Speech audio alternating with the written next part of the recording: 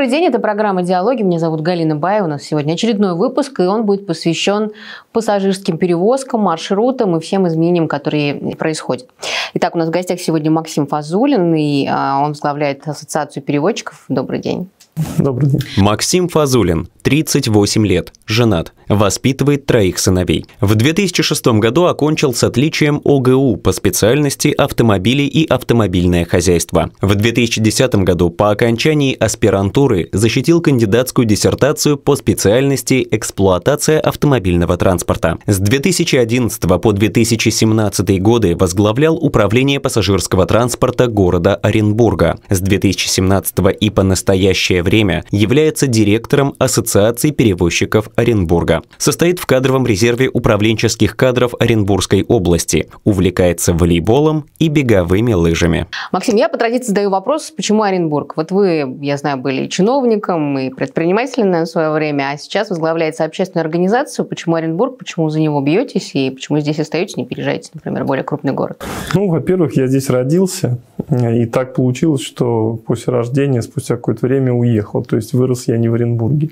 И вернулся я сюда в возрасте 17 лет поступать в институт. И тогда меня город принял, то есть я себя почувствовал здесь дома. Мне есть чем сравнивать, да, я ездил в другие города, и ни в одном другом городе а, так меня сам город не принял. То есть я почувствовал, что я здесь дома, что мне здесь нравится, мне здесь уютно и хорошо. Ну, тем не менее, видите опыт других городов, и что-то можно внедрять здесь в Оренбурге. Оренбург, э, особенно центр города, такой односторонний. Хотелось бы что-то а, внедрить уже, как вы это видите, развитие пассажирских перевозок, где-то опыт других городов взять, где-то ноу-хау какие-то ввести оренбургские.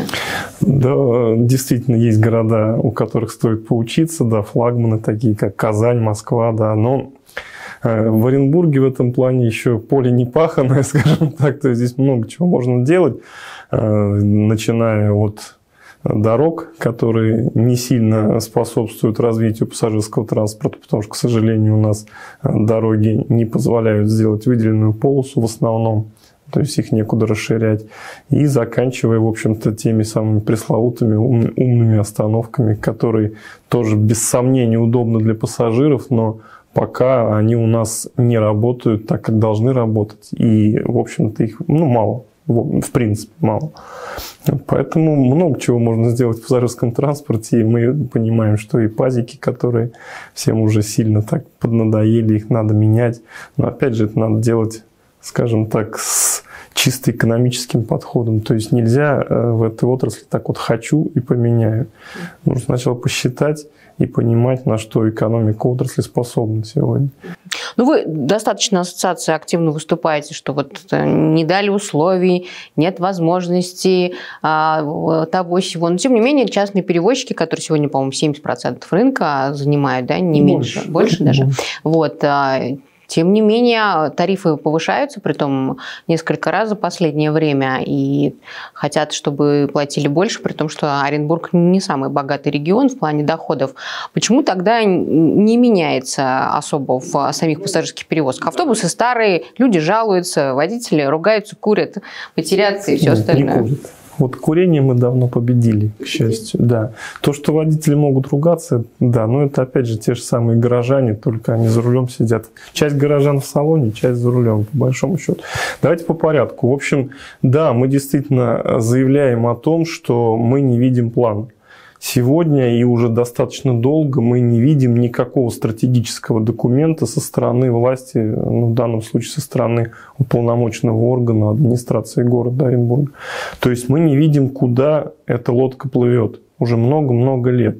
А когда не видишь, куда плывешь, не понимаешь, нужно ли тебе это. То есть мы говорим сейчас о том, что администрации хорошо бы сделать документ планирования – в котором прописать хотя бы лет на 5 вперед, что планируется, на каком маршруте, когда там обновление планируется, на какой подвижной состав, то есть я имею в виду класс малый, средний, большой и так далее, когда изменения так или иначе будут на маршруте происходить. И тогда перевозчики, вот условно возьмем абстрагированный маршрут номер один, да, мы видим, что администрация прописывает для маршрута номер один там, в 2025 году чтобы было 30% подвижного состава с низким полом. Там, в 26-м его завернут в микрорайон, условно говоря, Виктория какой-нибудь, да, и так далее. И перевозчик, работающий сегодня на маршруте номер один, понимая, что дальше ждет этот маршрут, взвешивает все за и против, оценивает экономику, понимает пассажиропотоки и говорит, да, я смогу. Ну, это документ же какой-то сфор... да, сформулирован же, уже говорят о том, что там а, подвижной состав там, в течение нескольких лет должен быть таким-то. Эти как бы, документы озвучивают. Документы, вот вы видели его в виде документа? Я не видел. Я, я слышал только слова. Опять же, мы слышим о том, что маршрутную сеть переделали. Про документ планирования я ни слова еще пока не слышал. То есть это разные документы. Есть документ планирования, а есть э, маршрутная сеть, которую уже третий раз переделывают и никак не, по, не покажут нам результат. То есть мы были свидетелями, когда сделали хорошую, наверное, маршрутную сеть А плюс С Транспроект, питерская компания, в рамках КСОДД это обследование было. Она была классная, но она очень была теоретическая. То есть теоретически она была сделана правильно. Там были пересадочные маршруты, приехали в центр, пересели, поехали дальше. Мы понимаем, что наши пассажиры к такому не приучены. То есть мы любим сесть в степном и выйти где-нибудь в южном. Это нормально. Да? Ну, у нас так сложилось, к сожалению. Хотя... Я понимаю. Получается, вы из практики что-то предлагали для того, чтобы эти маршруты включались? То есть вы же вот в поле работаете с, непосредственно с пассажирами, знаете, как двигаются эти потоки, какие ну, нужны и так То, что предложил А плюс С транспроект, в принципе, неприменимо было к нашему городу. А То вы есть... со своей стороны что-то в ответ ну, предлагаете, мы, чтобы... Мы говорим о том, что сейчас маршруты, которые есть, угу. Вот сами маршруты, сами трассы маршрутов, они по большому счету горожан-то устраивают. Вот давайте посмотрим, о чем говорит власть сегодня. О недовольстве горожан да, пассажирским транспортом. Недовольны поведением водителей, недовольны этими самыми пазиками и недовольны э, оплатой по безналу. Проблемы часто возникают. Недовольство самими трассами маршрутов не высказывает никто. Это о чем говорит? О том, что сами трассы маршрутов горожан устраивают. Им хочется качество повысить. Ну, а ожидание, например, на остановку, это тоже же, частный это маршрут, же, да. Это же тоже качество. То есть, если говорить о повышении качества, то не, не надо начинать с маршрутов, с самих схем, да, когда они по большому счету всех устраивают. Нужно начинать именно с качества и возвращаемся к тому самому документу планирования. То есть, если мы говорим об ожидании, да, документ планирования должен предполагать такие мероприятия, которые позволят либо сократить это ожидание, либо прийти к тому, что будут эти умные остановки, будут какие-то табло, которые показывают, когда будет автобус У меня и так тогда вопрос. Если вы же как ассоциация хотите войти в рынок, вы такой документ планирования предлагали со своей стороны или пункты какие-то для него? Давайте сапожник будет шить сапоги. Документ планирования должны составить в администрации. Мы должны в нем, возможно, поучаствовать, если нам предложат. Или саботировать и не участвовать тоже вариант. Нет, мы не придерживаемся такой, э, вот такой политики. То есть всегда, когда нас приглашают участвовать в каких-то мероприятиях вот такого плана, мы никогда не отказываемся. Другое дело, что часто так бывает, что администрация заявляет о том, что нас привлекут к этой работе. Угу а постфактум нас просто ставят перед фактом, что вот мы уже сделали. То есть говорят, что привлекут, но, но делают совершенно Ну, привлекаться иначе. готовы, да, к обсуждениям, к предложениям? Конечно, мы никогда не отказываемся, во-первых, ни от сотрудничества с органами власти, ни от сотрудничества со средствами массовой информации. В общем-то, мы абсолютно открыты. И перевозчики говорят о том, что мы меняться готовы. Вы скажите, в какую сторону нам меняться? Ведь у всех еще ну, свеж в памяти пример, когда вот эти желтые автобусы одно из частных предприятий купило, и их не выпускали на линию просто потому, что они были чуть длиннее, чем пазик. Чуть длиннее, чем в документах сказано. Ну так извините, это же лучше. Что мешало быстро поменять документы, а не полгода тянуть? Ведь красивые автобусы, новые, как просили, лучше, чем пазики с низким полом и так далее. Зачем их держали? И вот этот пример, он, естественно, э, ну, всех перевозчиков отпугивает. Ну, куплю я сегодня, залезу в дикие долги, куплю какие-то автобусы, которые смогу по моей экономике. А мне скажут, нет, извините, мы решили туда вот идти, в ту сторону. Ну, так же не бывает. Это же тоже бизнес, так или иначе, хоть и социальный. А вот на, этой фон, на этом фоне, да, есть муниципальный заказ, и на миллиард куплены ЛиАЗы, да, и, соответственно, они сюда в город пришли, их тут вот народный мэр и народный губернатор, как их назвали, по-народному в народе, с народом прокатились на них уже. Вот в таких ситуациях как вам удается конкурировать, как вообще оцениваете закупку А тут слово конкуренция вообще неприменимо в данном случае. Вот представьте, два условных предприятия. Одному на миллиард купили техники, а другому ничего, да?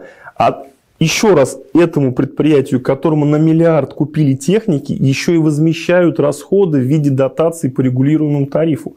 То есть у них тариф, в принципе, такой же, как у участников. 30 рублей. Но им еще за каждый километр пробега порядка 55 рублей доплачивают. Ну, например, берем, если, да, если мы говорим о соседних а, регионах, Уфа та же, там же большей части муниципальный транспорт, а частный, он закрывает часть маршрутов.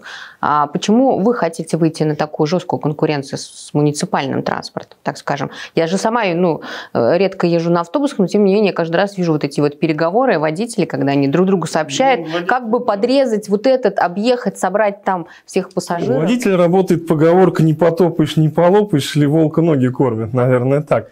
Э, мы не хотим в жесткую конкуренцию. Я хотел бы все-таки немножко так улететь в историю, для чего создавались муниципальные транспортные предприятия до появления 220-го федерального закона. А создавались они для того, чтобы, ну, скажем, просто закрывать дыры. То есть были всегда в любом городе районы, куда, куда не сможет частный перевозчик возить людей просто по экономическим соображениям это невыгодно. Естественно, ни один частник не поедет туда, куда ему невыгодно. И для этого и создавались муниципальные предприятия, чтобы исполнять полномочия муниципалитета по транспортному обслуживанию. Они открывались, им платили огромные деньги за то, что они эти дыры закрывали, и они их закрывали. Вот. Когда появился 220 федеральный закон, он позволил уйти вообще от этой системы. То есть он уравнял муниципальные предприятия и частные, потому что 220 федеральный закон предлагает что делать? Есть у вас проблемное направление, муниципалитет. Так, пожалуйста, выставляйте это проблемное направление за деньги на общий рынок, и пусть те, кто сможет на этот рынок прийти, те и приходят. То есть вот э, условно стоит обслуживание столько-то рублей, да, частник готов за столько-то рублей? Он говорит, да, я готов. И он начинает торговаться, неважно, с муниципальным предприятием или с другим частником. И приходит, и ему муниципалитет говорит, да, мы тебе будем платить за то, что ты ездишь туда, куда невыгодно ездить. Но мы тебе будем доплачивать то, что ты не добираешь. Дотации, да?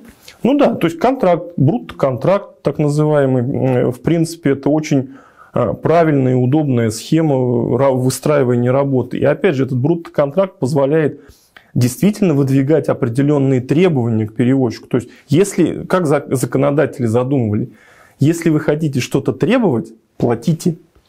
То есть, если я плачу, я и требую и низкий пол, и большие автобусы, и все, и галстуки на водителях, и униформу, потому что я за это плачу, как заказчик работы, и я это буду требовать. А вы будьте добры, раз уж вы ввязались в это, исполнять. Конкурс совсем другая история, то есть она принципиально другая и в плане контроля, и в плане реализации всех ну, полномочий, то есть там ну, все по-другому. Вы упомянули все-таки, ну, сервис играет большую все-таки роль. Заходите, ну, датировать это одно, а исполнять а, договора, да, и делать это на уровне, то есть давать сервис.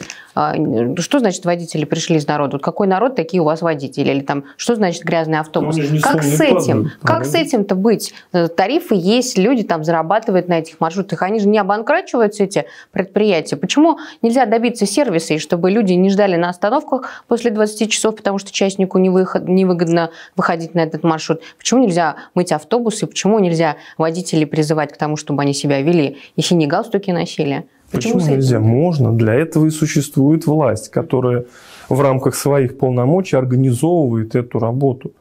То есть мы, опять же, вот этот пресловутый конкурс, на который все так вот, э, вот каждый новый приходящий руководитель, я вот э, не так давно в Заксобе об этом говорил, вот за 4 года их четверо сменилось, и глав у нас четверо сменилось, и руководитель управления транспорт четверо. И каждый новый приходящий с упорством твердит, о конкурсе, да, то есть как о неком спасении таком для всех. Сразу вот проведем конкурс, и все будет в елку.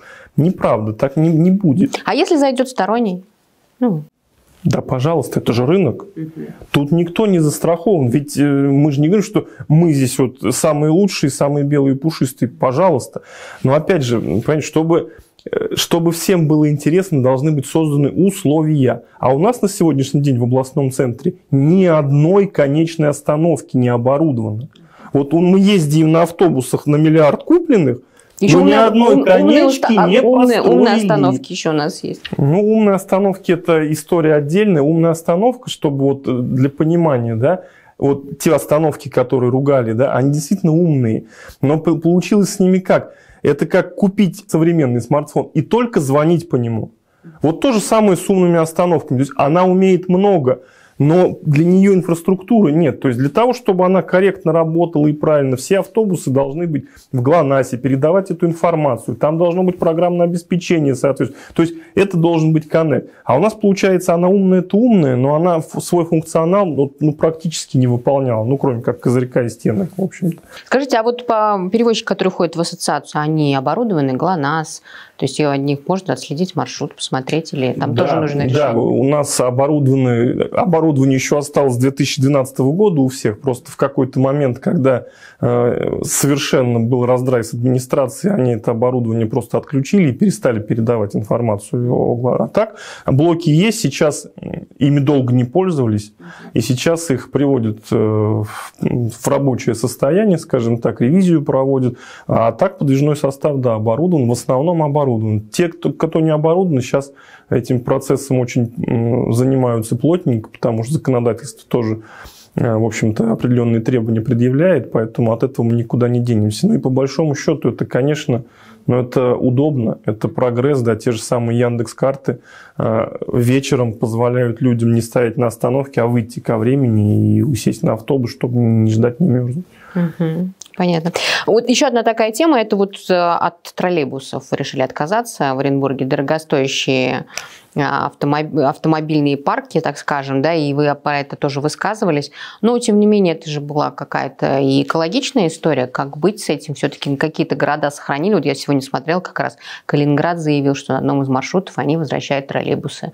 И, соответственно, пишут это как достижение для города, потому что это экологично. Вы как к этому относитесь или это прям совсем забытая ну, история? Ну, смотрите, история про экологичность – это такая очень История. Да, почему? Потому что когда троллейбусы появились когда-то, да, там в 50-х годах, да, это было экологично, потому что тогда выхлопные газы у машин были совсем другие.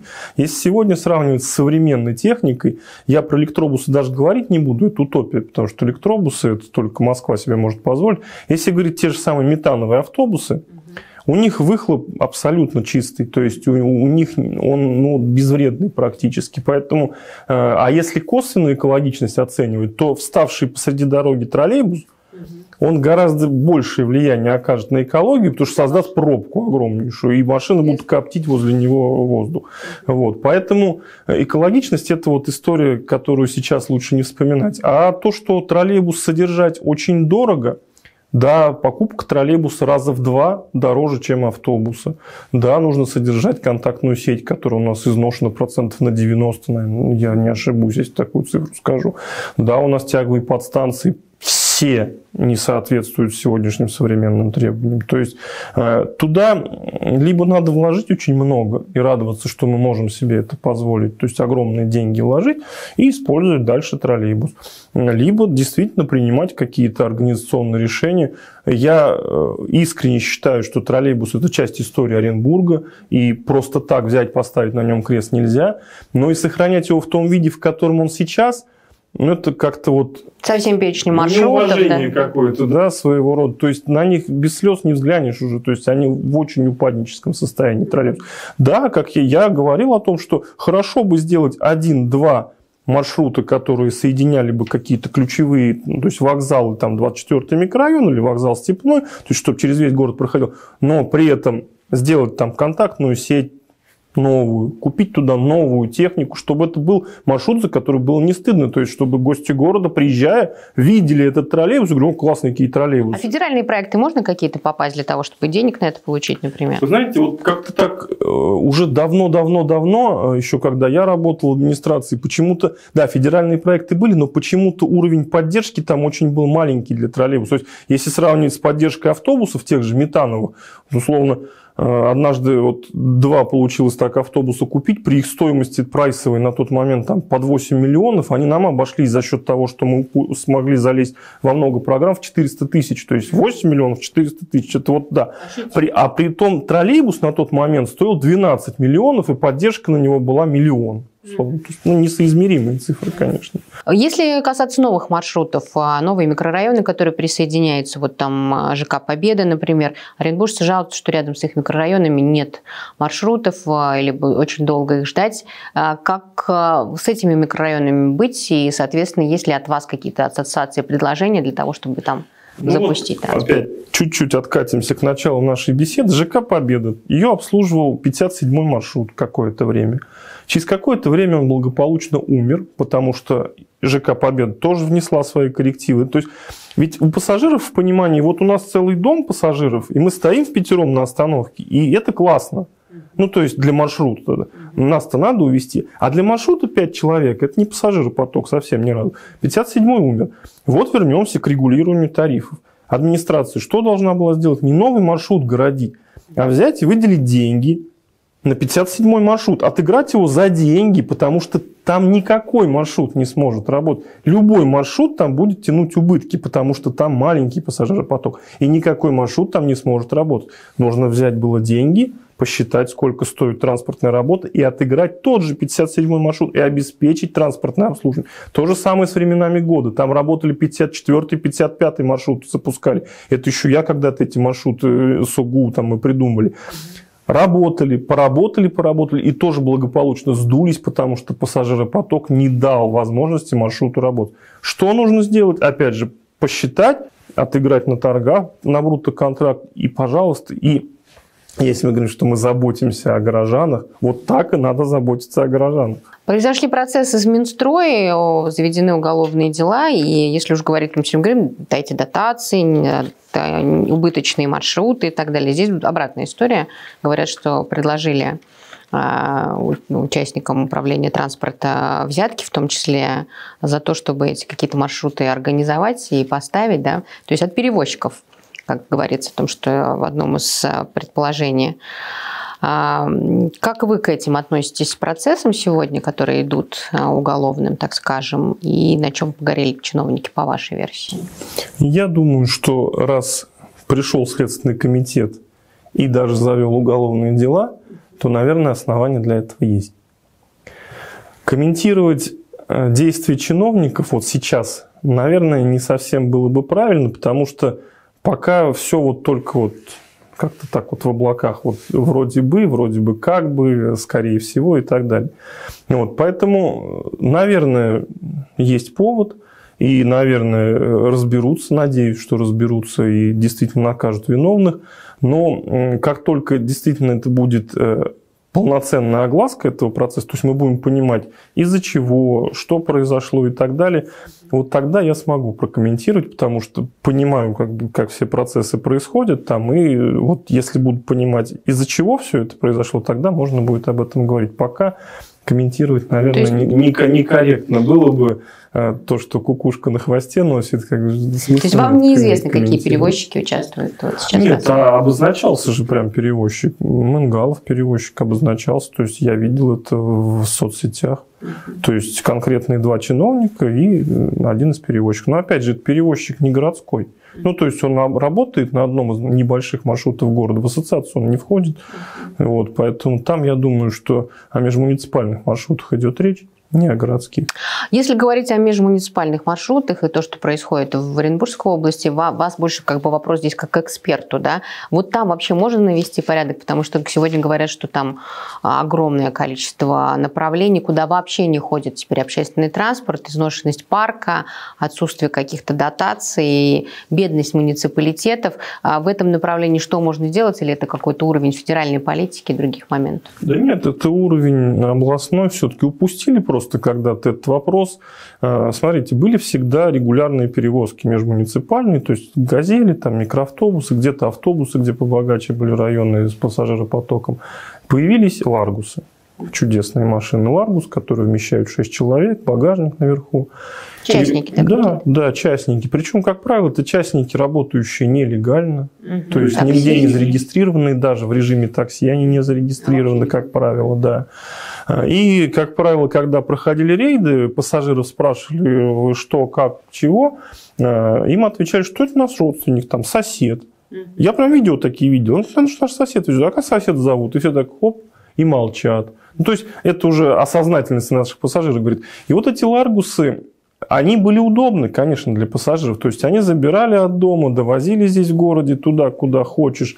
Но они убили регулярные перевозки автобусные. То есть, потому что они буквально из-под носа у автобуса, у микроавтобуса забирали пассажиров. Это огромнейший теневой рынок, где крутятся огромные деньги. Но они все идут мимо налоговых поступлений, потому что, как правило, это все нелегально. И сделать тут можно, но это нужно, чтобы захотели все. То есть это нужно, чтобы захотела власть областная, прям, наверное, даже до уровня губернатора, чтобы захотела, чтобы захотели силовики, чтобы захотели налоговые органы. То есть когда все дружно вместе скажут, мы с этим будем бороться, это можно побороть. Вот еще вопрос, все-таки у нас мы возвращаемся к цене, да, стоимости. Это вот э, и они здесь тоже между собой связаны. Почему люди выбирают тот же Ларгус? Да, это, во-первых, там где-то комфорт может быть, да, добираться. Другой вопрос еще цена. А на общественном транспорте периодически возрастают тарифы, и говорят, что у вас несколько даже засекретило эти данные, сколько вообще реальная себестоимость перевозки пассажиров. Вот, и насколько я знаю, вот там те же мысики оспаривают сейчас штраф, который выписали за это. Но все-таки вот э, насколько прозрачно и сколько можно вообще понять, сколько стоит э, реально перевозка пассажиров на том или ином маршруте? И можно ли а, какую-то вводить там градацию? Где-то реально будет 32, Это а в другом 25. Очень легко понять. Есть методика Минтранса, по которой рассчитывается тариф. Если сегодня тариф для тех же пазиков посчитать по методике Минтранса, закладывая туда среднюю зарплату, там, рентабельность, э, обновление, амортизацию и так далее, то для пазика, для частного пазика, это будет цифра в районе 70 рублей. Угу. Вот у муниципального предприятия, насколько я слышал, последняя цифра, там тариф вокруг 100 крутится. Угу. То есть реальная себестоимость одного пассажира вокруг 100 рублей. Вот э, это, ну, это такие цифры, которые легко проверить, то есть методик Минтранс соберется и считается, и все, и цифра получается. Вот, поэтому о том, что тариф большой или маленький, тут это, знаете, такое понятие очень относительное. Если сравнивать с тем, что должно быть, он крайне маленький. Для пассажиров, конечно, да, чем ниже тариф, тем лучше. И по большому счету, опять же, вернемся к автобусам, да, должны все прекрасно понимать, отдавать себе отчет, что чем дороже автобусы перевозчики купят, тем выше тариф они вынуждены будут поставить, потому что перевозчику ниоткуда не прилетает. Он зарабатывает только с тарифа. Сегодня тариф там, в 30 или 32 рубля – это ну, скажем так, сбалансированный такой очень прям вот, прям вот прям тютелька в тютельку, потому что там много чего не закладывается перевозчиком, то есть много на чем экономится. Ну, а что, например, уже... на чем? Ну, это отдельная история, каждый экономит на чем может, а перевозчик где-то резину не вовремя поменяет, то есть если по методике резину надо менять там каждые сколько-то тысяч километров, да, там каждые 70 тысяч, перевозчик будет ее катать там, пока она не сотрется вообще. Ну, и так, ну, это банальный пример, опять же, Потому что ну, резина сейчас очень хороший показатель. Если она стоила год назад, если она стоила около 6-7 тысяч, сейчас она стоит 12-13 тысяч. Экономит на безопасности, а, получается, все-таки. Э, экономит на чем смогут. То есть, э, понятно, что без этого никак. То есть, если не экономить, то тариф будет ну, совсем... Ну, получается замкнутый круг. Поднять тариф нельзя, потому что население не потянет этого. Ездить дальше на старых пазиках, которые вот-вот развалится, тоже нельзя. Нельзя, да. Как быть тогда? Как быть? А мы говорим, как быть. Дотации, Давайте мы... дотации, два, да? Нет, два пути. Нет, тут как в том анекдоте, два пути. Первый вариант – это причем это в законе прописано, что муниципалитет, ну, уполномоченный орган обязан организовать транспортное обслуживание по регулируемым тарифам. Угу. То есть закон говорит о том, что вот в данном случае в муниципалитете должны во всех направлениях быть маршруты с регулируемым тарифом. То есть маршрут, по которым дотации платятся. Это закон говорит, это не мы придумали. То есть это первый путь организуйте обслуживание транспортное по регулируемым тарифам везде, а вот по нерегулируемым, то есть там, где работают частники за тариф, который устанавливают, там уже как бы как получится. Будут работать хорошо, ну, то есть будет альтернатива этим маршрутам. Нет, ну, значит, будут только эти. Это первый путь, регулируемые тарифы. Второй путь – это то, о чем я говорил. Сегодня, имея то, что есть, вот тот рынок, который есть, те маршруты, которые есть, давайте, мы говорим, администрация, о том, что давайте вместе пропишем лет на пять, чего вы хотите от нас. И мы примерно понимать будем, что мы сможем Ну, то есть, такой сбалансированный сделаем документ, и э, получается все от этого выигрыши. Перевозчики, те, кто понимает, что смогут это сделать, понимают, что им делать в ближайшие пять лет. Администрация понимает, куда идет и может людям, горожанам сказать, вот смотрите, горожане, мы сейчас не, обме- не поменяли подвижной состав, но в 2023 вот здесь поменяется, в 2024 вот здесь поменяется. Ну вот команда 25 обновилась, вот есть люди, с поменяется. которыми можно сесть за стол переговоров уже? Мы со всеми готовы сесть за этот Вы стол. сейчас видите, есть с кем разговаривать об этом. Ну, вот Алексей Сергеевич Кудинов пришел, сказал, мы готовы. Ну, сказал. Мы сказали, мы тоже. Теперь ждем, когда пригласят. Мы, в- мы в полный готовы, мы в любой момент готовы сесть и обсуждать, что делать. Но ведь мы же что слышим? Мы говорим, давайте обсуждать реальный документ, по которому будем дальше работать. Мы слышим в ответ, мы сейчас конкурсы. Ну, а что конкурс-то решит? Вот я, я бы очень хотел, чтобы поняли.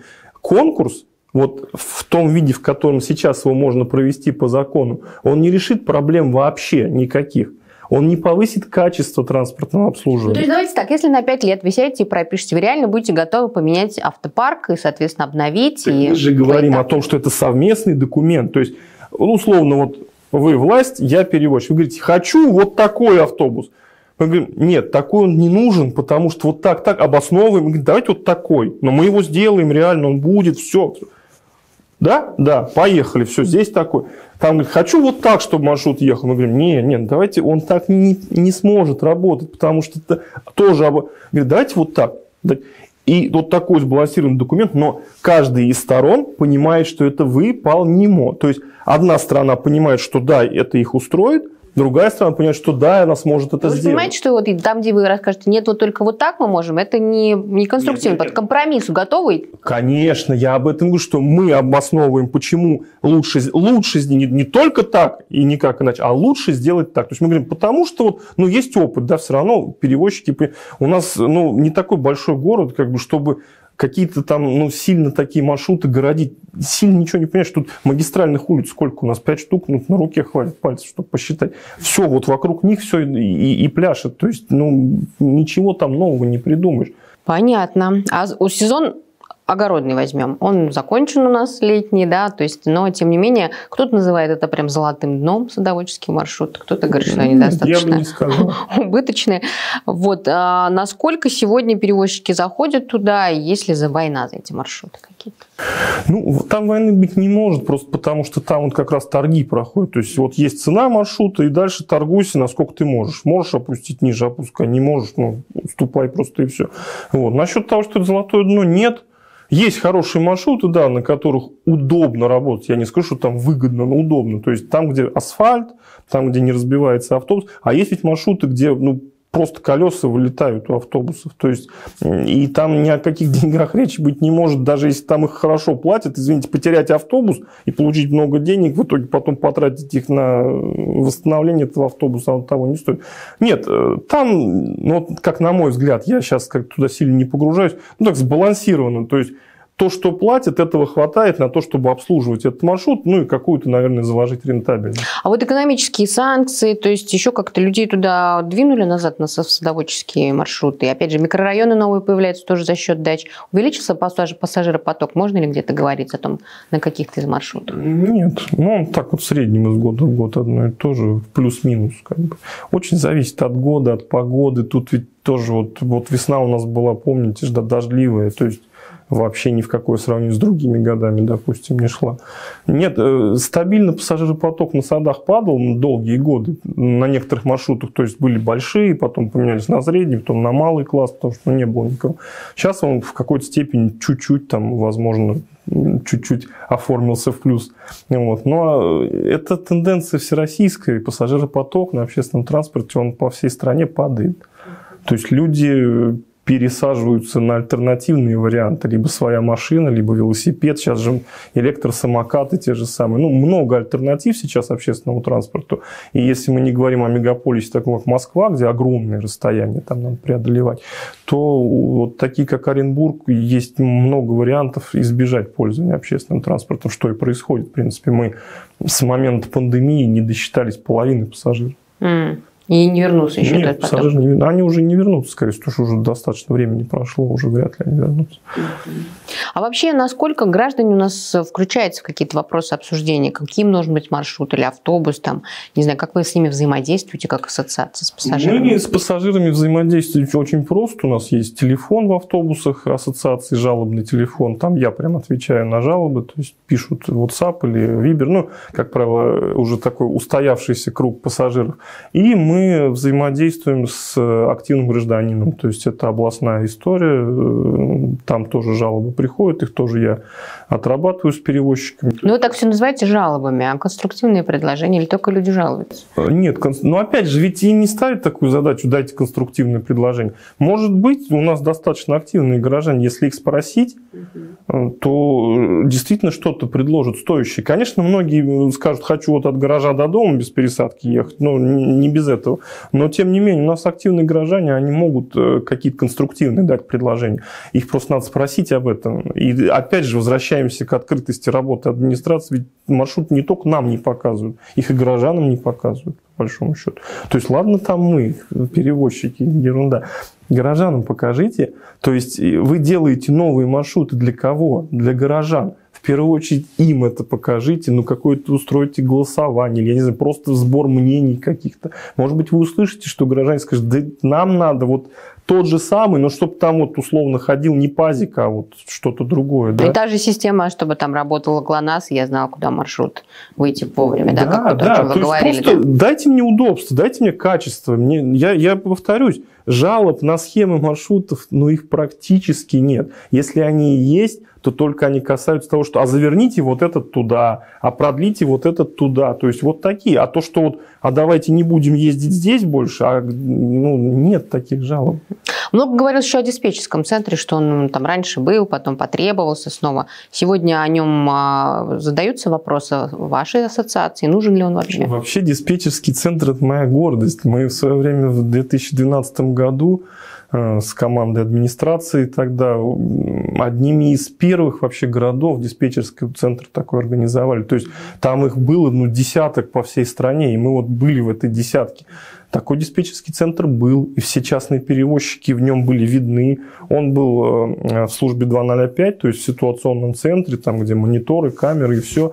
И он действительно очень здорово сразу качественно поднял вот уровень, потому что все пассажиры, те, кто часто пользовался общественным транспортом, знали телефон диспетчерского центра.